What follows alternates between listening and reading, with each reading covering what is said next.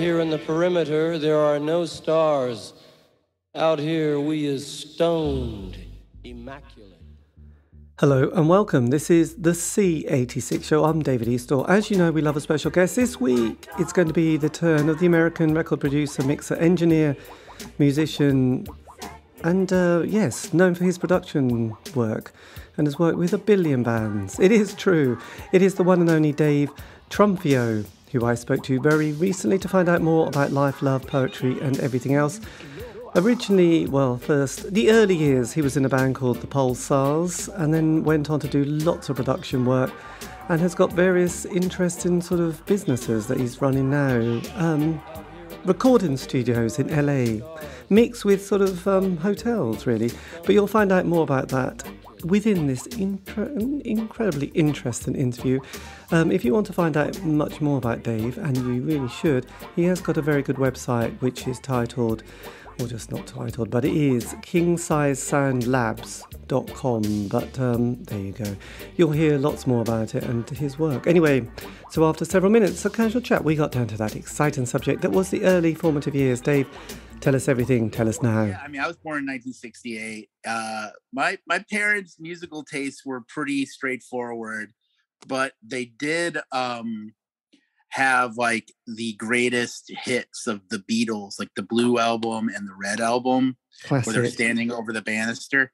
Um, and that was like a, record that never left the turntable through my childhood. Right. So, you know, Beatles were like a huge, huge uh, musical influence early on, like from like as far as I can remember. Um, and along with the Rolling Stones, I ended up getting like a Rolling Stones greatest hits when I was like six or something. The the one that's like the kind of cool octagon one. I, I remember through the, through the past darkly. That was the first one I got, but um, I can't remember that. Yeah, one. yeah, yeah. So like so so I mean, those are pretty classics, you know. well, I do remember those Beatles albums. I remember a friend had them, and I recorded them, and and sort of hearing, you know, like uh, Strawberry Fields and stuff like that. But yeah. I had an I had an older brother who was seven years older than me, and he he had a huge influence because I thought he was such a cool dude, and he was into the world of prog rock. You know, the people like yes. you know your you know, um, bit, bit of Pink Floyd, early Pink Floyd, but yeah, it was Yes yeah. and Genesis and Wishbone Ash, Barclay, James Harvest, of and course. the solo work yeah. of so solo work of Rick Wakeman, which I also loved. Yeah. I, but luckily, he also his first couple of albums were Sergeant Pepper and Goodbye Yellow Brick Road by Elton John, and this was kind of quite early mid seventies. Actually, I sort of at the time just went into his room because I was forbidden to go into his room and play them mm-hmm. when he wasn't about, and thought, God, this is absolutely amazing. But I didn't realize the cultural context either. And the fact that the Beatles had only just broken up, really, you know, it was like it was only yeah. so um, that was a kind of a musical education. But the Beatles were huge because they there was those films that came out and we watched religiously. Yeah. There wasn't much else to watch really, so um, they were massive. But also people like the Monkees and the Banana Splits. I mean, let's face oh, it. Yeah, yeah, yeah. And another big thing, another big influence on my early years was Jim Croce.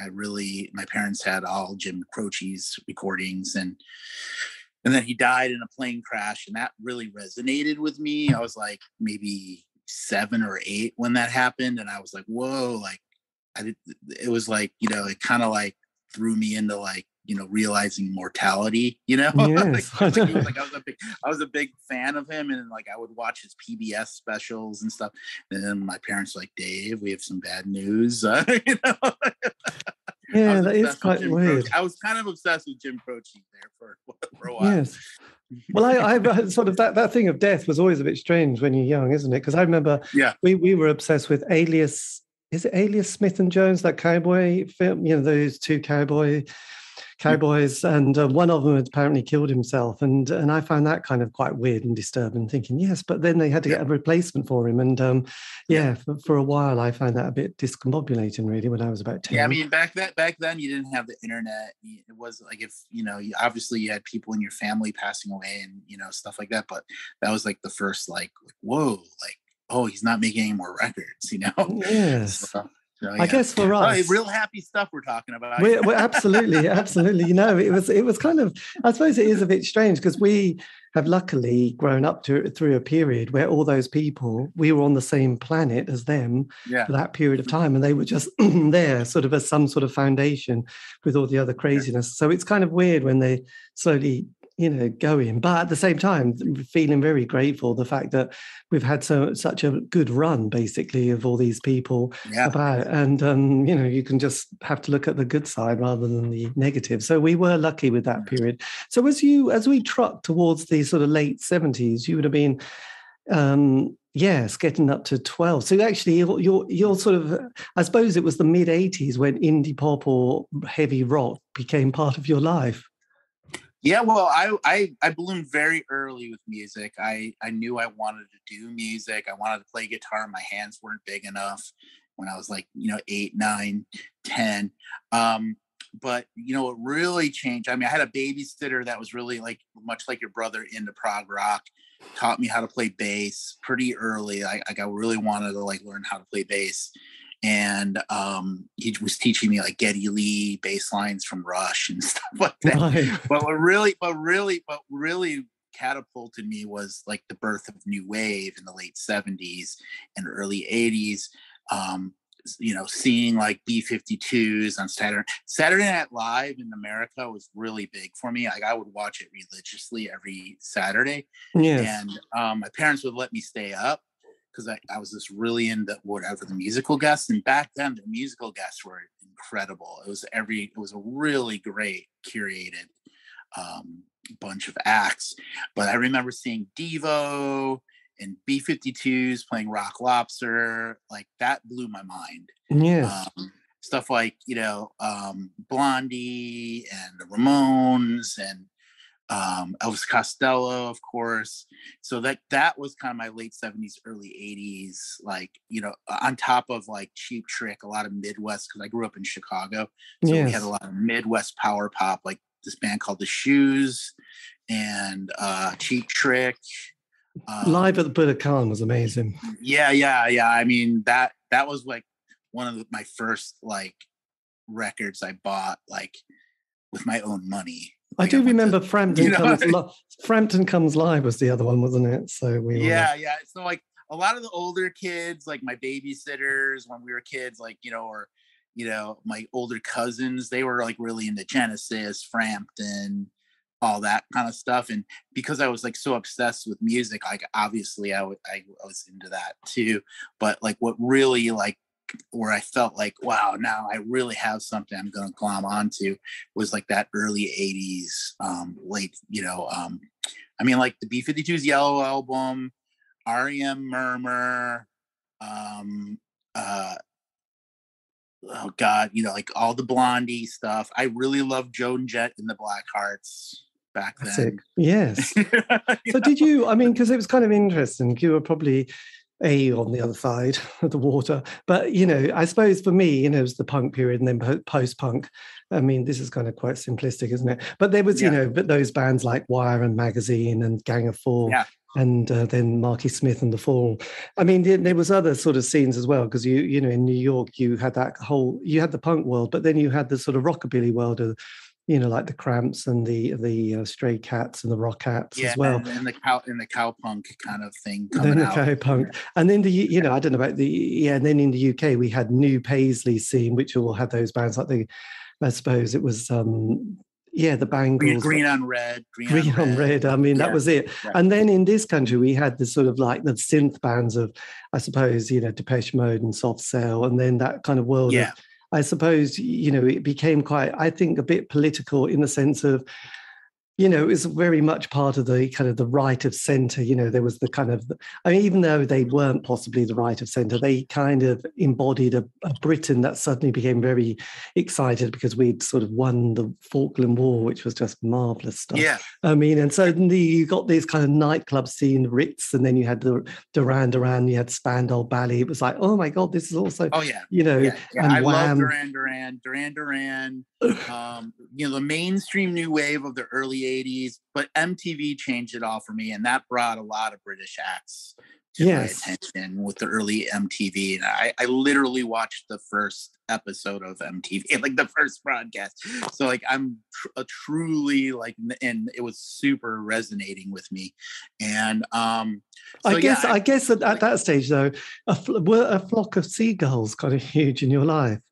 Yeah yeah i mean like well i like i immediately started wearing skinny ties and you know i bought like you know some used bowling shoes and you know started becoming new wave you know and Buggles, I Um, suppose, wasn't it? It yeah like- totally like buggles um but what really changed was um i, I was uh playing in the youth orchestra and we did a european tour one summer um when i was uh, pretty young and uh i was walking down we were in london and i was walking down the street and this person was wearing this t-shirt with this huge face of this guy wearing horn rimmed glasses and it was uh the smiths you know the and I was like, I'm like, what is the Smiths? You know, and so that, that was probably um right around was right before Meat Is Murder. right, So- 84.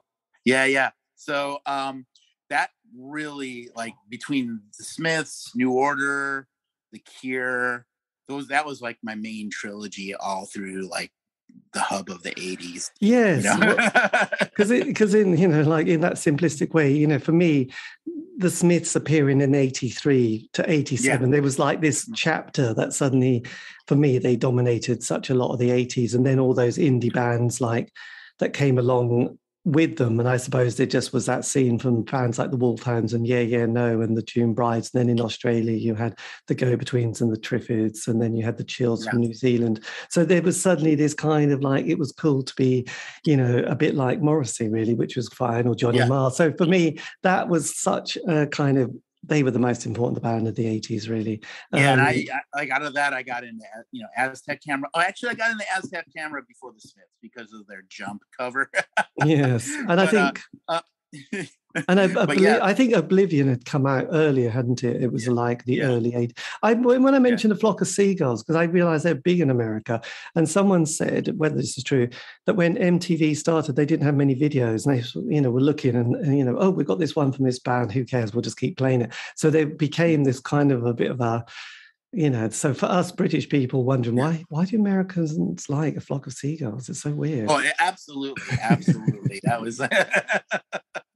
but um, yeah, I mean, there there were some great one hit wonders out of the early MTV era. But um, yeah, and I I, I really out of the Smiths, I really got into like the Blow Monkeys and um bands like uh the Jazz Butcher. I got into. Oh, yes, of you know, course. like, like some pretty like you know kind of obscure now, like kind of obscure, but then I really like uh, what is it, Dream Academy? I like that. right yes But I absolutely really early early MTV's Icicle Works. Like that was huge. I love the Icicle Works, and uh, there were a lot of like cool English bands like on that early MTV that that I was definitely brought my attention to it. Yeah, and I guess that you know, I mean, Duran Duran now got dates in Vegas, and I guess they're sort of they did get a big audience, didn't they? I think they were one of the British bands that did very well in America because there's a thing about British bands, you know, going right, Mm. we're going to have to do America, and they sort of go, oh shit, and then come back and think, no, we they hate us basically. So um, it's Yeah. not always the way, is it? I mean, there's a there's a kind of well-known narrative about British bands having a bad time. And the other thing that I've noticed when I've done a lot of interviews with British bands, indie bands, the one thing that finishes them off, apart from you know being together for five years, um, is tour in America is often the thing that finishes most bands off. They go, "We just came back and broke up after our six weeks in America. It just broke us completely." So, yes, British bands, you know, sometimes struggle with that sort of enormous project. I suppose Mm-hmm. it's a tricky Yeah. one, isn't it? Yeah, yeah. And then like later in the 80s, um, started getting into more I guess it would be yeah, like later eight well got kind of more into like the American indie scene started happening. And um bands like the Pixies, Surfer Rosa, and you know, um labels like uh Merge were starting and and and stuff like that. So I started kind of getting really into the American indie scene by the late 80s. Yes, because yeah, 'cause- because for me, kind of 87, uh, only the Smiths break up, but then there's like the the kind of in this country, then ecstasy sort of starts to become the recreational drug in a way, um, and also that wave of 16 year olds have kind of done their thing over the Smiths period, and then there's a new wave of people, not musical, you know, new wave, just a new kind of group of 16, yeah. and they yeah. want their sound, and it's suddenly a bit more dancey and a bit more kind of trippy. And then you had, you know, as you mentioned, the American bands like the Pixies and Throwing Muses and 4AD Records, and then you yeah. had Bleach and Sub Pop but then we'd had Sonic Youth and Husker Du and the Butthole Surfers. So, you know, there was that kind of all happening for us, which got very Yeah, and exciting. then the Manchester, the Manchester um, kind of more of the shoegaze scene too was coming out of England that I was really into a lot of those like ride and and, and so forth. But um yeah, yeah, yeah. And Good then in the early 90s, in the early 90s, I met Jon Langford from the Mekons, and we started working together. And we ended up our first thing we did was an alternative TV record, which was like Mark Perry was recording a new record, and we ended up working on it with him. Excellent. And that, and that kind of opened me up. I mean, I was already into the Gang of Four. I didn't really know the Mekons that much, other than like maybe in the mid '80s. Um, there was like a big feature in like one of the big music magazines in the United States about the Mekons. So like rock, you know, kind of in that like honky tonk and rock and roll era when they got signed to A&M. I knew about them, but then when I met Jon Langford, I kind of threw myself into their back catalog as well. And we've become like really good friends with them. And currently now I'm playing bass in in, in the Mekons. Um, yeah, through through just randomly John Henderson meeting Langford at a post office. So we love. So how did you get to work with alternative TV? Well, it was John Henderson. Speaking of John Henderson, um, he uh, he ran into Langford when Langford first moved to Chicago and Henderson was living in Chicago and he had a label called Feel Good All Over at the time. And he basically um, got Mark Perry to do an alternative TV record with him for him. And when he ran into Langford, he was like, Hey man, would you want to work on this alternative TV record I'm, I'm putting together with Mark Perry? And he goes, Yeah, absolutely but I don't know any studios. And then like Henry, John Henderson was like, well, I know a guy, an engineer that could like work with you and you can go use his studio. And so that's how I met Jon Langford. And that right. was very early. That was very early in meeting John Henderson because we worked on a um, Randall Lee um, record for uh, his first Ashtray Boy record, which I played bass in in mm. Ashtray Boy. So when did you start your kind of your musical career? When did your schooling finish? And then when did your studio then band world start? Well, it, it kind of started, it all kind of started at the same time. I mean, I literally have been playing, had a band with my brother since I was like 10, literally. And we started like recording uh, just on tape recorders, like from the get go and you know we were learning covers but we were writing originals so we would always kind of experiment with the tape recorders put two tape recorders bounce back and forth so eventually like by like mid high school era um other bands were hearing our recordings so I kind of by osmosis became a record producer because they're like, "Hey, can you record our demo?" And I'm like, "Yeah, sure, come on over." And by then I had like a four track and it graduated to better and better tape recorders like eight track and 16 track and um, right. And so you it was it was all kind of self-taught in your yeah, DIY, totally DIY. Um and basically at some point like my parents were like okay, you're you're really serious about this, and we can't stand having these bands coming over our house. you know? So like they're like, and I'm like, well, I want to do this for a living. They're okay, hot shot. If you're making money doing it, go ahead. So I ended up renting a house with a bunch of friends and building a studio in the basement. Right. And that's where we that's where I recorded Randall Lee and met John Henderson and we're making these kind of um, you know low budget DIY indie records out of there. But then during the daytime, I was apprenticing at like a proper studio, 24 track studio called Sea Grape, which was recording all the early like um, house stuff, house music, Chicago house music. So like in the late 80s, I was recording my day job was basically I started as as the apprentice, but because I knew MIDI, I knew sampling and all this stuff, and I was really into that stuff at an early age. The owners were like, "Oh, well, you should be engineering these sessions with us because we need more people that know how to run sequencers and stuff like that."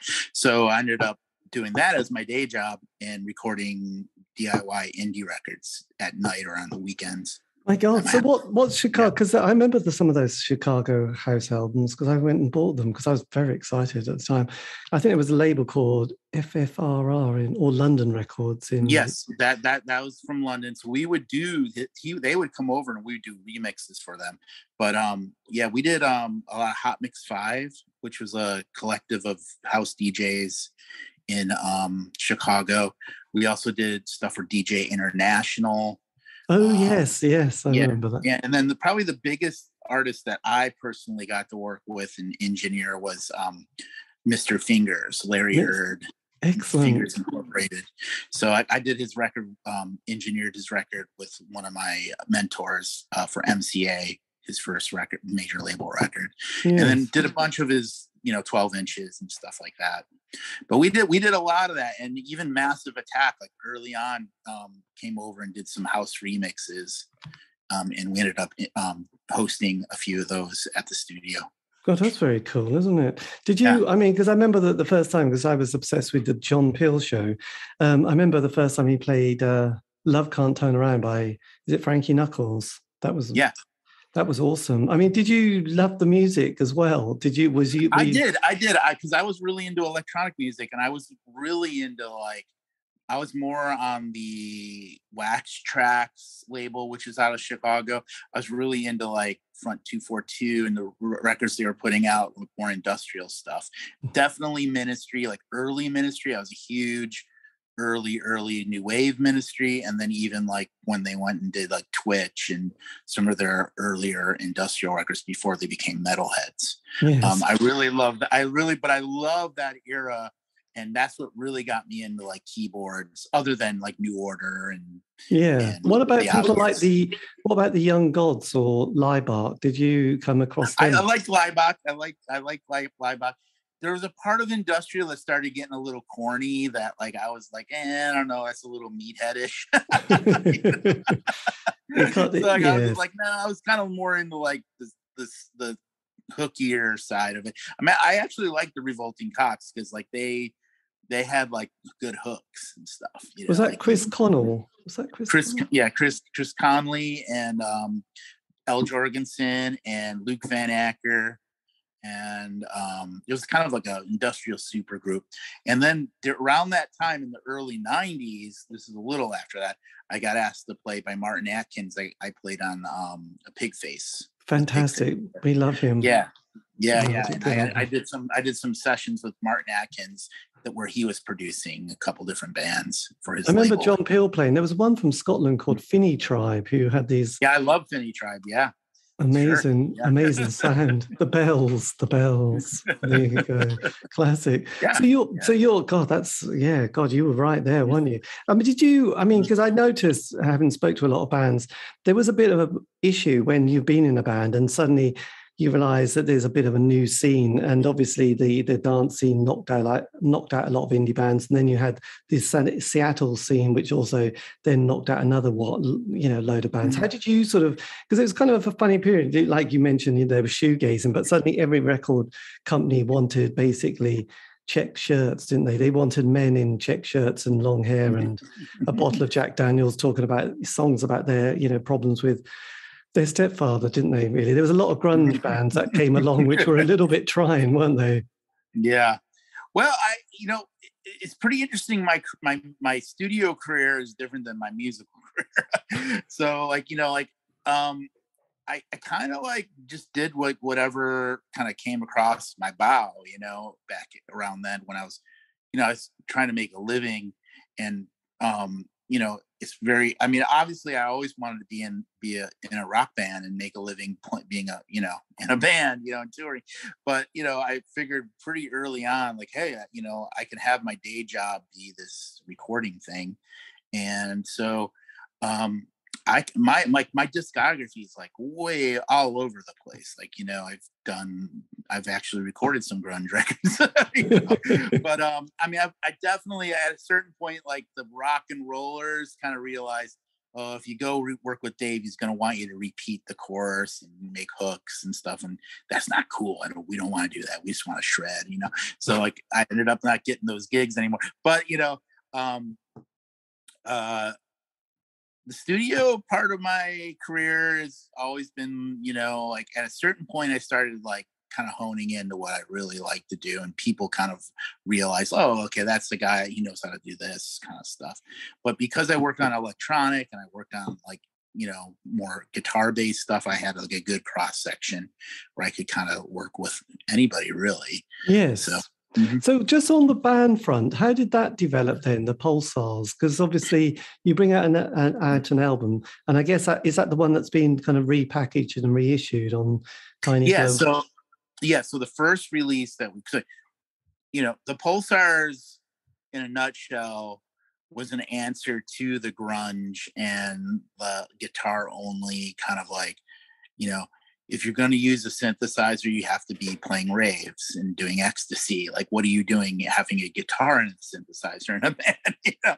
So I, and being me growing up being such a new waver, um, this was about like 1994 or so, and played in different bands, played in a lot of different bands, but always kind of more guitar based bands up until then. Um, and I loved electronics and I worked with them in the studio. So I was like, you know what? We're uh, it's just gonna be me and my brother, and we're just gonna make like the music that just comes to our head, like whatever. We don't care if it's synthesizer, guitar, whatever it is. So um, and at that time I was like doing a lot of indie pop, so there's a lot of indie pop influences in there as well. Yes. So so you know, um, we formed this band and ended up like because it was so different, we got a lot of attention on the local scene from promoters and ended up opening for Blur and Oasis. And it's a big, long story, but we ended up getting a big major label deal and then recording a whole bunch over a period of like four years. But then the label went out of business and my brother decided he wanted to go back to school. And I was like, hey, you know, I'm just you know, we'll take a hiatus and I'll just go back to producing records and working on other stuff. And that kind of like turned into like 25 years.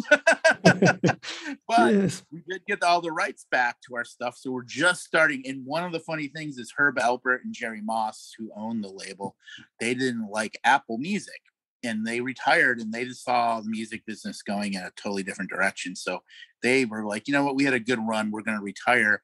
But they never digitized any of their catalog.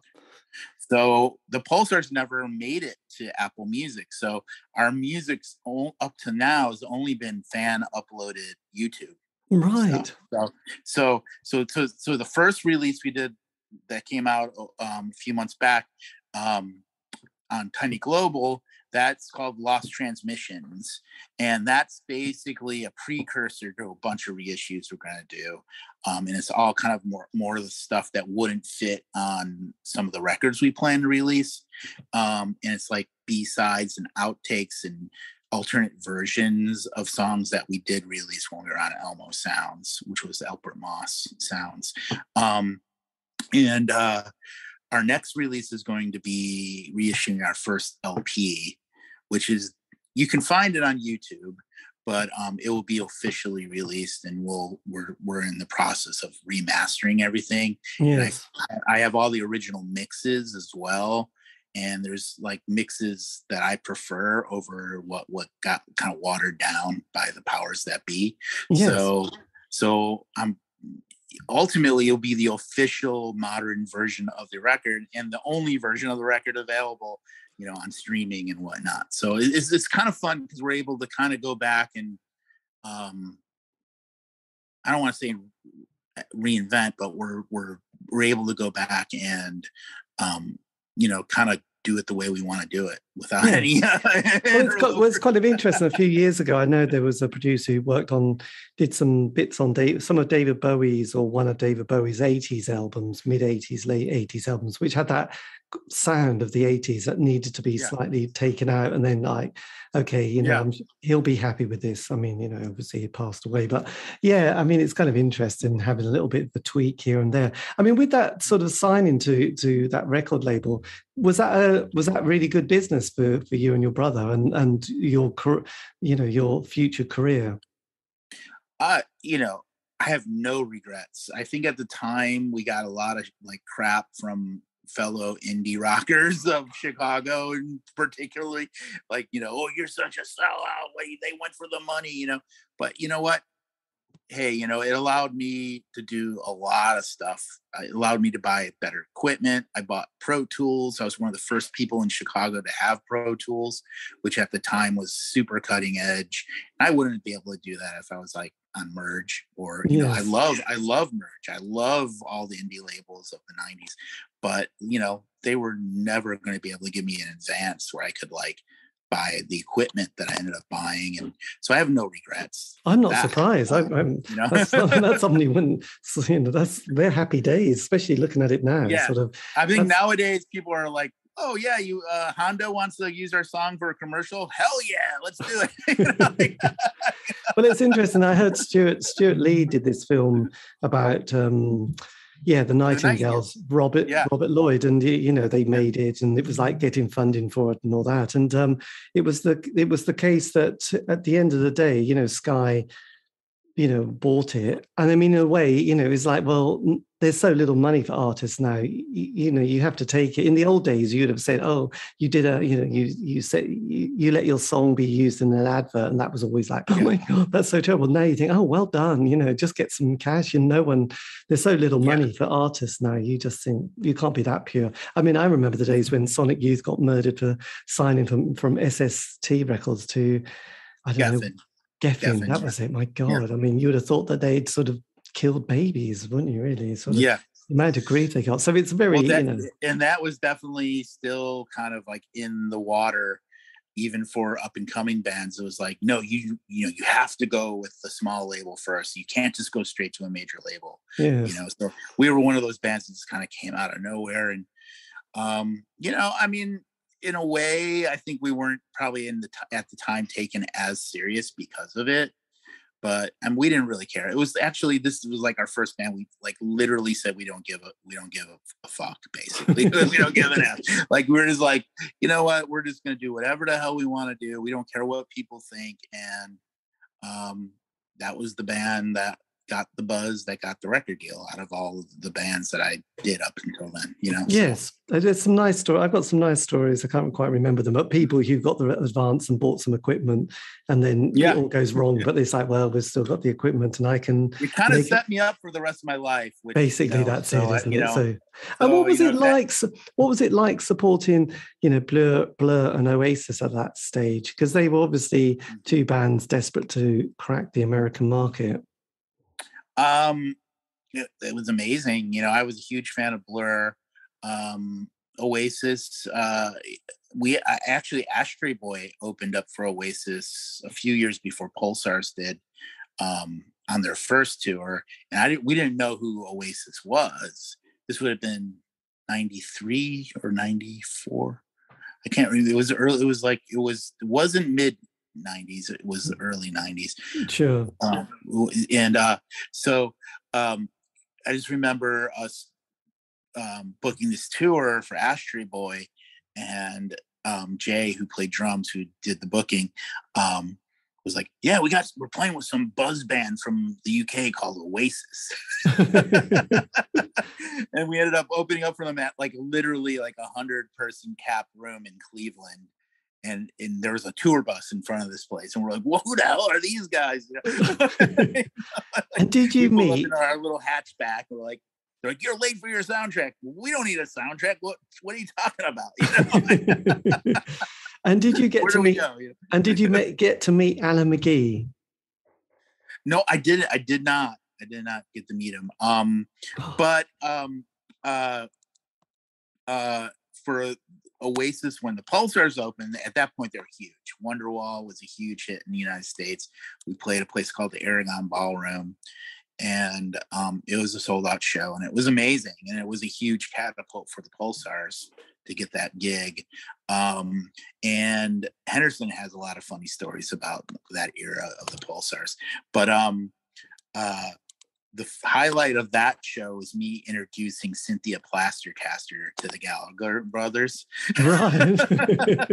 Good old Cynthia. I, I, actually, my cousin goes way back with the Plastercasters, was one of the original Plastercasters with Cynthia. And so I, have known Cynthia. I, I know she just passed away, uh, RIP. Yes. But, um, uh, but you know, I, I knew her really well. And, and, and so she, when we, she was like, Oh, Dal, let me hang out. Can I come? Can you put me on the guest list? I'm like, of course, Cynthia, you're Cynthia Plastercaster. You're going to, yeah, of course, you know, so like she's there and she came like early during sound check and was like, Dal, introduce me to the brothers. God, and, and how did Eng- and how did some English musicians take to such an exciting idea? Um, uh, no Noel was like he's he was out, he was super into it like you know like he was the out of the brothers like uh, that's the guy i talked to the most when i did get to meet them. And so i went up to him and i'm like hey noel um this is cynthia plastercaster. I want to introduce you to her. And and he's like oh my god. He's like super and he goes, well i gotta introduce you to liam. Like you know, we got to go, you know. So we walked through this, like, we're backstage and we walked through this series of rooms. And then we walked into this gigantic room that had an ice sculpture, a scroll French couch, a, a, a, a, a vodka bar, like a guy built making martinis, and Liam um, with like some escorts basically draping around him. I don't know if they were escorts or groupies or whatever. It was like right out of the movie. It was hilarious. And he kind of looked over at Noel, like, and here comes these people into the room, and he kind of holds his hand up like a, you know, like a king, and he's going, "What's going on here?" And uh, Noel's like, uh, "Liam, this is Cynthia Plastercaster," and all of a sudden his demeanor, "Whoa, whoa, whoa, hey, how you doing?" Oh. I swear to God, it was like right out of a movie. It was God, that's a classic, isn't it? Yes. God, that must have that must have been quite a nice gig to get to, to get on the sort of coattails of Oasis at that stage because yeah. they were they'd written the hits, hadn't they? They'd got, got themselves yeah. going. And was it a good atmosphere on the on the tour with them? Well, we only did one show. We only played one show with them, and um, it was at the Aragon in Chicago. And uh, um, it was a it was a really good show, but they refused to play Wonderwall. Like for, something was going on where Liam didn't want to do Wonderwall or something, and you don't do that in Chicago because Chicago is the kind of town that will riot. so, so it ended up like they weren't going to leave the building until somebody came out and played Wonderwall. So Noel came out with acoustic guitar and played Wonderwall, and everyone disgruntledly accepted it as them playing Wonderwall and left with like a little kind of pissed off um, attitude, you know. But no yes. happened. But then, yeah. So was the band, you know, was developing then also? You finish about eight. Mm. Was it 90, 97, The band sort of gives it. Um, that's our first record, and we we actually were recording up until end of 99 um, when the label disbanded. So we had a second record that never came out, but it, it never really was solidified what it was. We, we recorded a lot of music under the name Pulsars just because at that time I was able to like kind of put my full energy into it. So between King Size, which was my studio at the time in Chicago, um, and my home studio, uh, I was just always recording and writing and stuff. So yes, yeah. blimey. So then, mm-hmm. so so as that was happening, your your sort of CV for for being the go to producer is quite extraordinary, isn't it? You you capture this kind of it's not quite alt country, but it is mm-hmm. slightly of a um, a rootsy kind of vibe, isn't it? Yeah. Um yeah, yeah. I mean, between working with the Mekons and then um, doing a bunch of the early uh, Wilco records, um, like Summerteeth and Mermaid Avenue, and then um, did some stuff with Neko Case, early stuff. Uh, Jon Langford, my brother, and I were her rhythm section um, for some early shows when she was first signed to Bloodshot Records, and um, did some early in My Morning Jacket, the At Dawn record, um, and but at the same time, I I was really into kind of like the later indie pop. Well, I uh I I did. Are you familiar with the band Holiday by any chance? Holiday? Not a lot. Actually. March Records.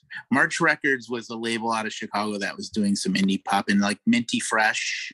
Right. Did a bunch of stuff with Minty Fresh. Um, but like in that time where I was kind of going into like the alt country rootsy stuff, I was also doing bands like the Aluminum Group for Minty Fresh and um, this band called The Anniversary uh, um, for the, this band called the Get Up Kids had a label called Heroes and Villains along with this band um, Koufax. So I did like two records for their label, which are really great indie pop records in my opinion. Yeah.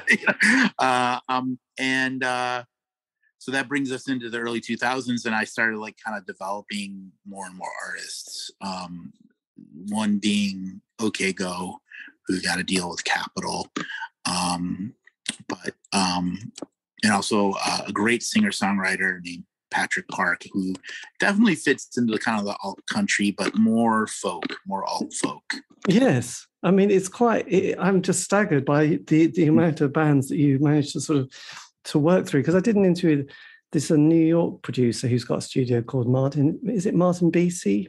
BC. martin bisi yeah yeah yeah. Who again, you know, people go because it's it's his kind of studio and his kind of kind of mm. presence, I suppose. Do you do you also did you also or have you also created your own sort of aura myth around yourself as, as this kind of because there was kind of certain people, wasn't there? Steve Albini was one. I suppose Trevor Horn had a, a sort of particular sort of vibe about him. So did you also mm. have that kind of oh yes, you're the person to go to if you want to I, I guess, I guess, you know, I don't think you make a decision about that. I think, well, you know, I always say like being a record producer is is like 80% being able to hang out and be in the studio for a long time with people and 20% technical. So I, you know, I, I'm a musician at heart. So, you know, I think most musician, producer, engineers, people want to be in the room with them because they're creative and you create, I'm able to kind of create the atmosphere. That's, Yes. That's fun to be in. And, you know, another thing, like for instance, the Handsome family, um, I saw one of their early first gigs at this club called Phyllis's Musical Inn in Wicker Park. This would have been 1991. And I'm like, who the hell are these people? Like, I, I was, they, they were like blowing my mind. This kind of weird, naive country music, like kind of like if Pavement did like, like, you know, a, you know, classic country record or something, you know? Yes. um, uh, and uh, like Hank Williams meets Pavement or something. And I- right after the gig, I like this. Is, I made a. Ha- I kind of started doing this where I would just, if I saw somebody playing and I really like what they're doing, I would just go up to them, and go, "Hey, wh- who you are you recording?" And like, let's make a record. You know, so Handsome Family, I just went up. I'm like, "Who the hell are you?" And we're gonna make a record. And they're like, "Oh, okay, let's." you know, so, and I would just make the record and then find a label for that band because I would be like, "This is great. We got to make a record. And don't worry about it. We don't have a label. Don't worry. We're gonna do it. We're gonna, we'll get you a label." You know. So I just kind of threw myself into uh, these situations, and I guess you know that's some of some of some of the reasons. Well, it kind of, I, I, I sort of, I won't be able to remember his name now, but um, I suppose Suzanne Vega had a similar sort of story, didn't she? She sort of was playing a lot in New York, and a producer who was trying to get into the record business thought, I think it was Mitchell Froom. I think it was Mitchell Froom. and and yeah, sort of started to develop. You know, like Yeah. let's work with her. And then the guitarist whose book came out last year with Patti Smith, sort of also worked with her as well, which I'm now sort of Yeah. Looking at his book. It is Yeah. one only. Oh yes, Lenny Lenny Kaye Lenny- as well. So he- Kaye, Lenny So Kaye, it was right, like it was kind of interesting. You had a very similar experience with you know some of the bands like the Handsome Family as well. The that um, Yeah. you took yeah. you took the idea and thought, look, you know, I don't know if you ever listened to it, but there's that kind of recording in the late '60s of the Troggs, the uh, in the studio where oh yeah an, an, argument about sprinkling some fairy dust on the record. Yeah, and it's yeah. just kind of. I just wondered if, as a as a sort of a producer and being in that experience, you know, that space, do you have you had experiences a bit like that, sort of where bands been kind of creatively and emotionally stuck, and you've had to try and sort of you know push through so to speak um uh, like when you're in the heat of the moment you kind of don't really think about it but i i have like a i have a way of just like kind of forcing people to do like, ah, no, you're gonna do it. Let's just do this now. And they'll be, oh, oh okay. Like they have no time to say no. right. I guess I'm very convincing. I don't know. I, I that's maybe one of my talents. I'm able to like get people to do things where they, you know, even if it's like, I don't know. I, I that's I never, you know, I actually I never really have like thought about like any of this stuff. I mean, I like it. That's a good observations, you know. I just, yeah, I just wondered what happens in those moments where, you know, someone comes with a mm. half-assed, half-hearted idea or half-planned idea, and you've got yeah. to try and sort of work out how you're going to do it. Because again, you know, I spoke to. It's a, it's pretty interesting. Like, yeah, like you know, you you kind of like part of the gig is psychology, and assessing what's needed. You know there's some producers that are like this is the way i do it my way or the highway. Um like it, it's you know paint by numbers like you know you're if you come and work with me this is what you're gonna get you know? Yeah. um where i've always kind of just looked at every project on its own and like okay what does this project need from me? How do i fit into this? Am i like the cheerleader? Am i the the driver? What am i here you know? So every situation's different you know? Every member of the band is different and they all usually the best bands always have like the chemistry between everybody. It's like this person's this way this person's that way and then the combination is like awesome you know? So it's just knowing when to stay out of that or where when to like push that and like you know or give direction when you need when they need direction but also be able to just like sit back and go hey like let's go get a burrito let's go down and have a drink you know? You know it's like there's like there's like you know knowing when to push and and, and not you know so but having spoke to quite a lot of bands, there's, you know, like they normally have a five year narrative, you know, and this is yeah. classic, you know, the 12 month honeymoon period in the UK, they get a single out eventually. John Peel plays, they get a John Peel session, which is great with the famous Dale Griffin, you know, from the Mott the Hoople, that everyone has a horrible time with because yeah. he's a really grumpy man who hates the band, but he gets a good sound. They do the first album, you know, get their transit band whiz around the country, you know, and the UK, as you know, is tiny, but every yeah. sort of town and city has an alternative indie night. So they they get quite a few gigs. So that's quite good. So they feel like things are happening. The second album, sometimes a bit, you know, hard work. The third album's often really, you know, this is the end. But what sometimes with a band, it's like I've asked them, did you know when you were making that last album that the band was kind of over? You, you know, that was kind of you were having to go through it. But as soon as it was done, it was like you might tour, you might not bother, and that was it. I just mm. wondered what it was like. Is it like for you if you sort of have that vibe of like, God, this band is really, they've just got to get through this, and then they're all going to be on their mm. own way.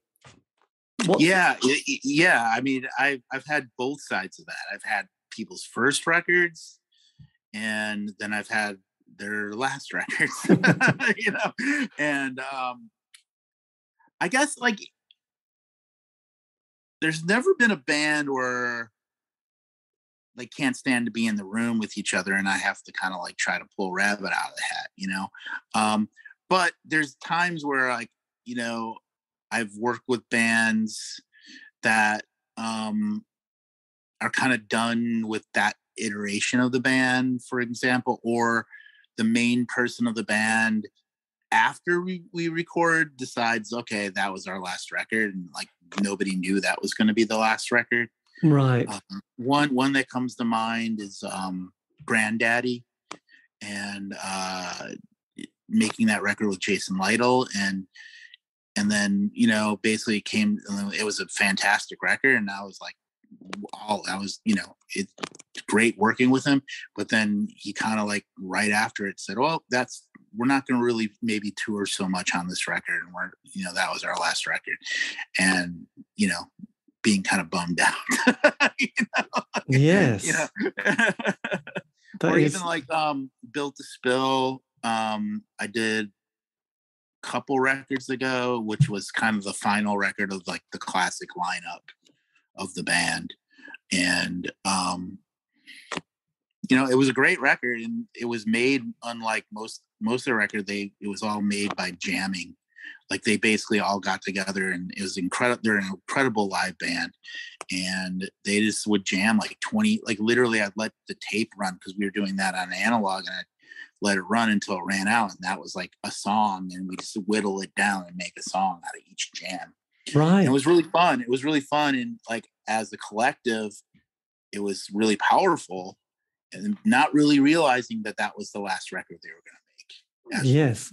Kind of humbling. What did you make then when you watched? I guess you watched the Beatles kind of um, eight-hour sort of film. You know, yeah. Let It Be. Did you was did that sort of resonate a lot with you? Listening, Absolutely hearing oh Johns talking and and their kind of interaction yeah. and the fact that they came to this project really with nothing and also the atmosphere yeah. wasn't great but as this sort of project went on the atmosphere seemed to get much better and better and then yeah. they were really rocking and you're thinking oh god i you know because i was kind of dreading the end thinking oh it's going to be a sad ending like the titanic and all that. Yeah. and it's like no this is a really happy ending. It was like the band are going to go on to great things and do a massive tour and it's all going to be great and and everything's good. But you sort of realize that oh, actually that was yeah. that was it, it played up on the roof and that was it. Um you know like that was an I, I cannot first of all i cannot believe that that exists. Like the, did it did everybody know that existed i didn't know it. I mean like the, to realize like wow that's been just sitting there this whole time. And then one thing that hit me was oh my god these guys are just like everybody else. They're just a bunch of knuckleheads. Like they're just fucking around, you know, like they don't know what they're doing really, you know, like they're just coming in, noodling around and going, Oh, I got this idea. Well, check this out. And you know, obviously it's all, you know, it's legendary. Yeah, I, I, I mean, the, the, the, one, the one bit that really, I was going to say the one thing that blew my mind was the the microphone in the in the sort of flower pot, which you know they had that yeah. conversation, and and they probably can't. Well, you know, Paul probably can't even remember having the conversation, but then hearing it must feel really strange. Going, my God, you recorded that? Jeez. Yeah, yeah, yeah, Christ, that, yeah. It was. It yeah, was no, there, there's there's like just like the bickering that was going on. Like it's like that's what broke up the Beatles. Like that's like kind of normal bickering for a band, you know? well, I kind of found I found it sort of got they seem to get much better once they saw, you know, the dynamic yeah. with George and George is leaving the band. No, he's not leaving the band. And then yeah. everybody was kind of happy and everyone just was having so they had some terrible yeah. ideas about touring. And then it's like, why don't you just mm. book the Royal Albert Hall for 20 nights and just go, we're just going to go to the Royal Albert Hall and just get it out, you know, because they were desperate to play live, I thought. And uh, and just rock and be a band again, you know. And they, I mean, God, I just I just couldn't believe how happy. But it was a bit like Scooby Doo because because for years we all thought it was Yoko, wasn't it? And then it turned out yeah. to be Allen Klein was the was the yeah. you know, the, the fame this infamous character that everybody was like, you know, well, not everybody. John loved him and Yoko, and everyone else was going, I'm not sure about him really. Even Glenn yeah, John wasn't sure, but it was you know he broke the Beatles, wasn't he? That was yeah yeah, and it yeah, it was Scooby Doo, wasn't it?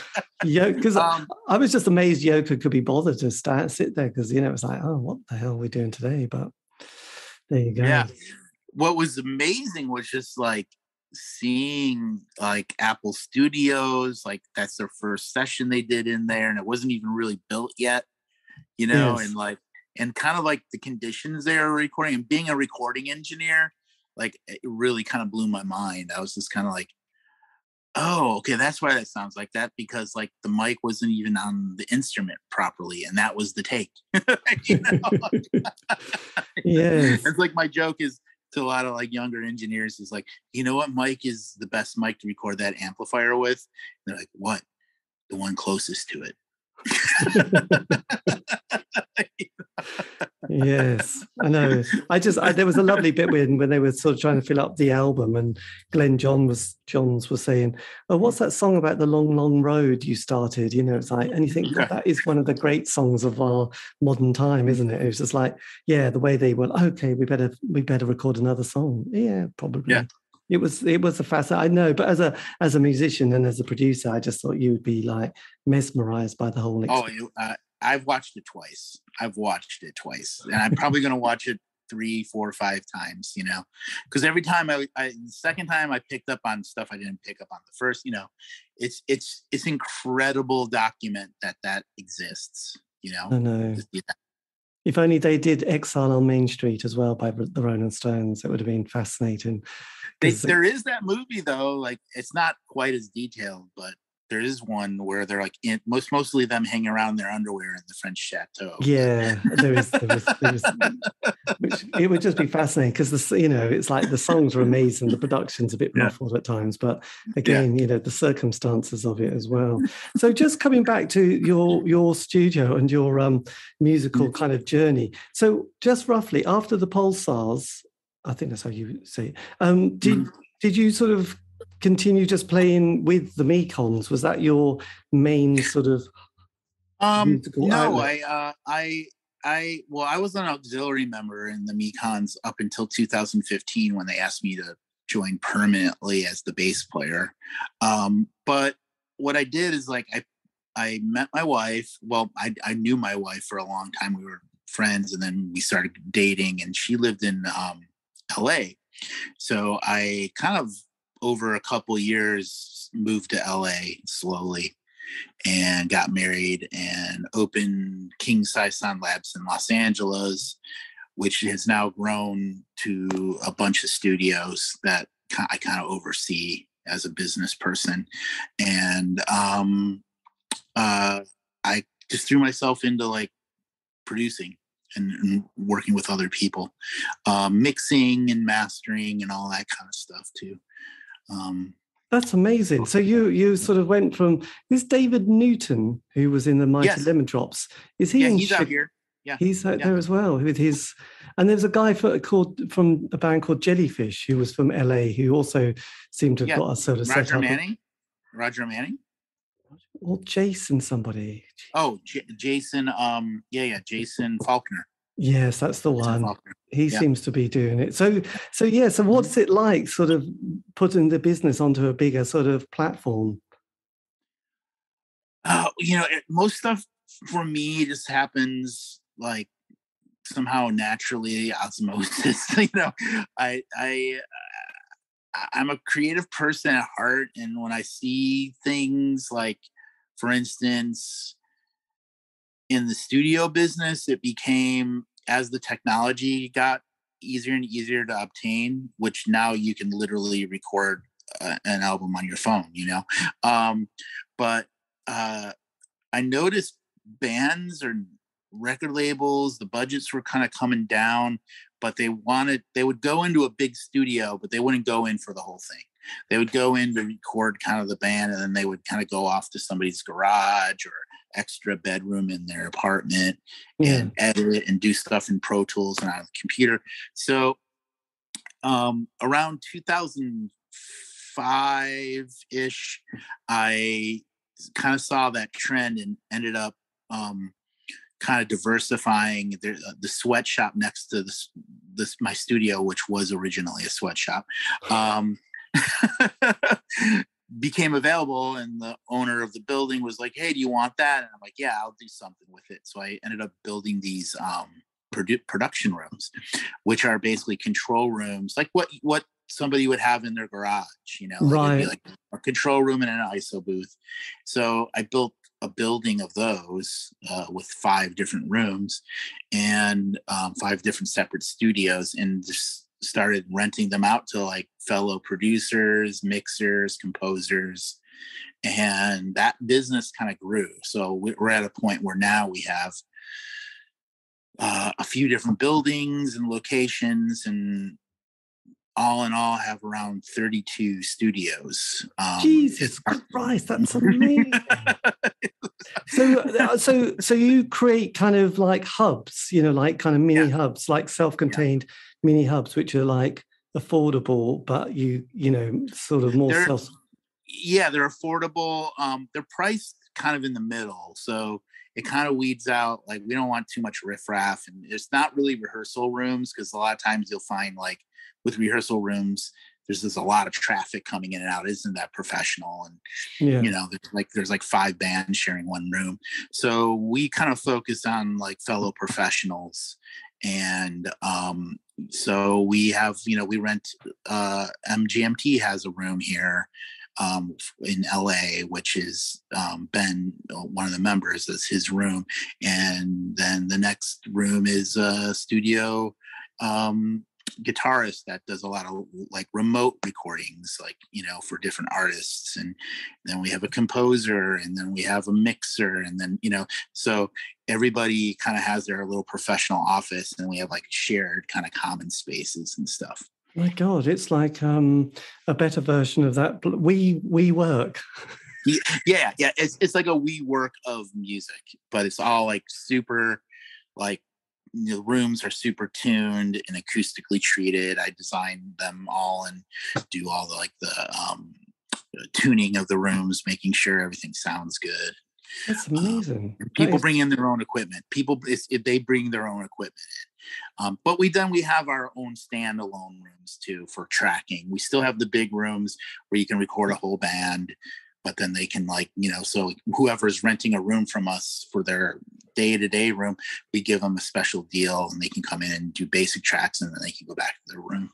So that was kind of something i came up with and now it's starting to take you know more and more people are doing that as far as a, as a um, you know a model a model to kind of afford but you you you were the first you were the first person with this kind of idea that's kind of no, I wouldn't say I was the first, but I, I feel like pretty early, if not the first. yes, that's quite amazing. Yeah, I mean, I know that's probably you're boring, but how did you cope with the last two years of the the kind of lockdown? You did that sort of. Okay, yeah. So so so because of our model, because of this model, um, all our month to month, what we call our month to months, um, they they kept chugging along because like everybody needed content so a lot of our clients are composers for Netflix and different varying streamers, you know, like uh, mixers for, um, you know, uh, show mixers and things like that. So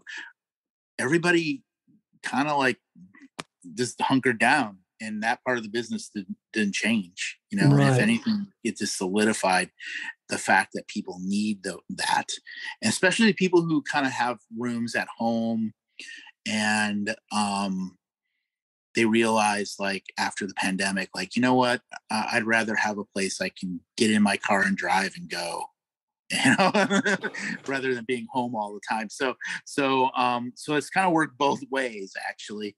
Um and you know the way we did we were really our protocols were like really tight and it was like okay only have you and if you have a client you know, escort them in, make sure they're wearing a mask, all that kind of stuff. So um, it seemed to work out good. Our day to day studios took a major hit, of course. Um, yes.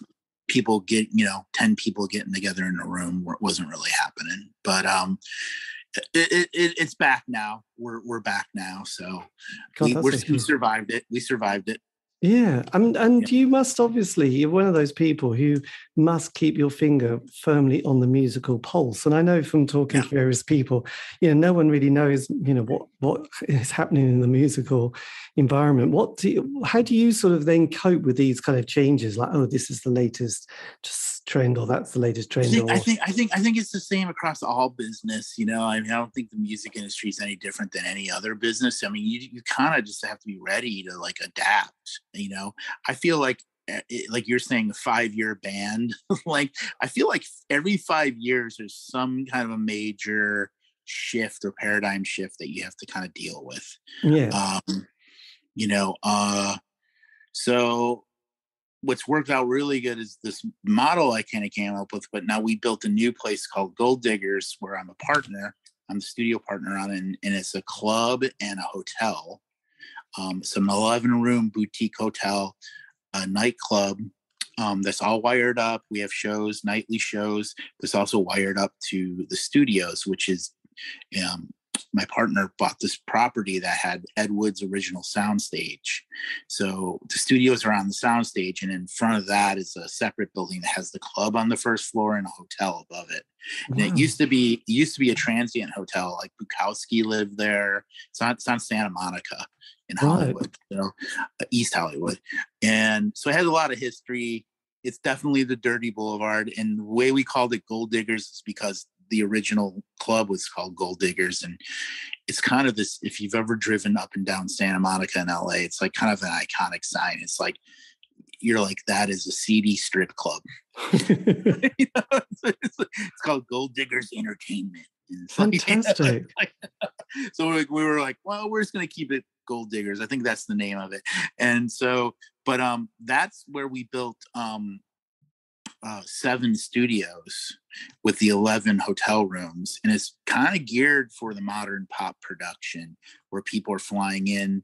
You know we get we actually get people flying in from from europe uk asia australia um, and where they can get a room they can have a little hub. It's right there in east hollywood so it's like very centrally located.